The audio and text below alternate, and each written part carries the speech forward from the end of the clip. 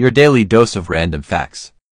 The shortest commercial flight in the world is 58 seconds long and connects the islands of Westray and Papa Westray in Scotland. The Great Barrier Reef in Australia is the largest living structure on Earth and is visible from space. The longest word in the English language has 189,819 letters and takes over three hours to pronounce. You might be wondering what the word means, and it is the chemical name of the largest protein, titin.